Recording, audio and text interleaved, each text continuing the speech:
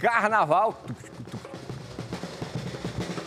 As escolas de samba resolveram voltar com tudo aqui na capital. É, Douglas Branquinho tem mais detalhes. Por conta da pandemia, não teve aquele desfile, os desfiles tradicionais das escolas de samba aqui de Goiânia em 2021. E no carnaval de 2022 também não.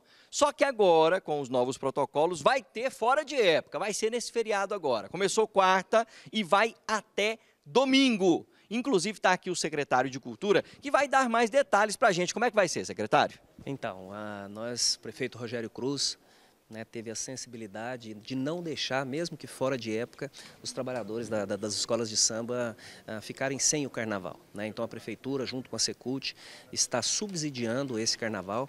Né? E começamos hoje aqui com a escolha da rainha, da princesa e do rei Momo do carnaval e já com desfiles aqui na Rua 3. O importante frisar que esse ano, né, uma determinação também do nosso prefeito Rogério Cruz, é que nós fizéssemos um carnaval descentralizado, né, na frente das quadras das escolas, na região onde a escola né, faz o trabalho social.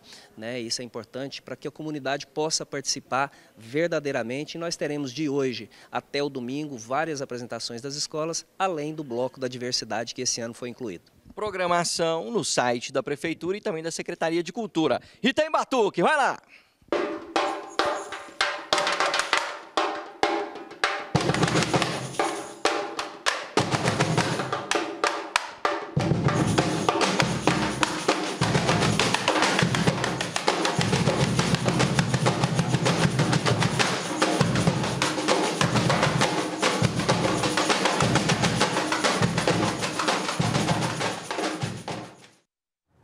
Rapaz do céu, Ota, rapaz! E o povo tá dançando. Eu já fui no desfile de escola de samba aqui de, da Rua de Goiânia. Eu, eu tava torcendo pra Flora do Vale. Flora do Vale, que era lá da região leste.